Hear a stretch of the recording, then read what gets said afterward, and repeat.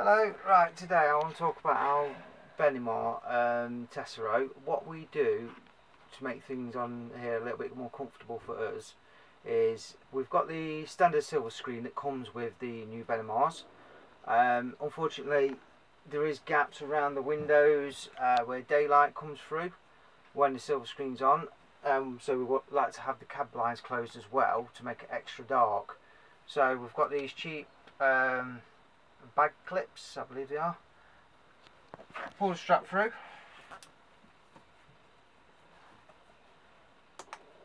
Clip and shut.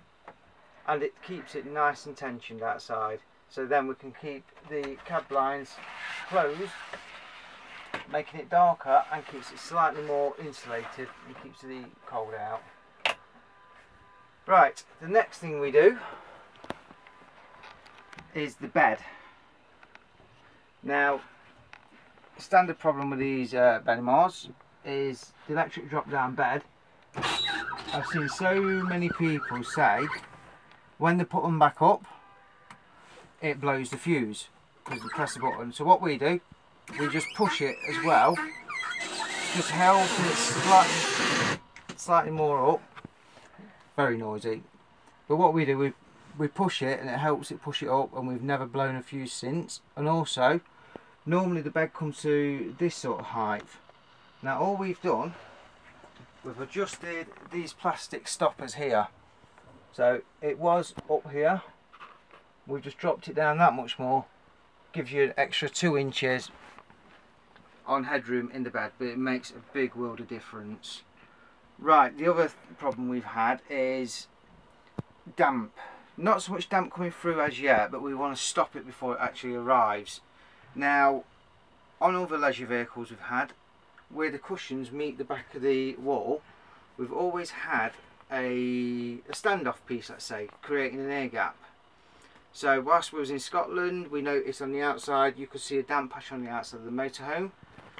So we brought this uh, dry bed or dry deck I think it's called. I'll uh, pop some pictures up of what it is. And it um, just creates a little bit of an air gap we've had no problems since. Also along with the bottom bunk.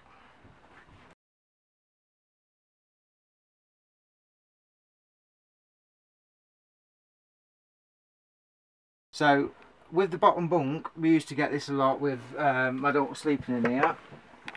Because it was going straight onto the wood we've put this stuff down. We used to get a bit of damp and condensation just at the bottom of the bed. But now it's absolutely dry so that's going to save that and save any mould.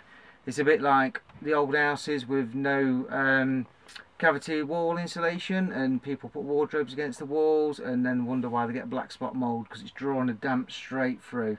So I wanted to stop this before it actually started. One of the other little things we've done is whilst we was driving this is um, larder unit has only got the one button to lock it into place and sometimes it used to come open now what we was finding is it wasn't quite catching it tight enough. There's a bit of movement in it. So all we've done we've put a spacer just there where it catches. And since and since we put that spacer on we've had absolutely no problems. Now this is a Benimar Tesoro 413 um, one of the annoying things is with the garage doors because there's garage doors on both sides. Now in the UK where we are our habitation door is on the passenger side.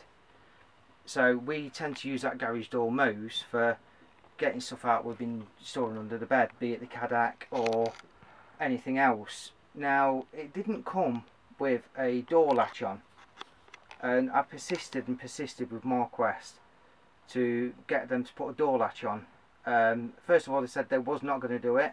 I persisted with Marquis, uh, but they said they was not going to fit a door latch because it doesn't come as standard.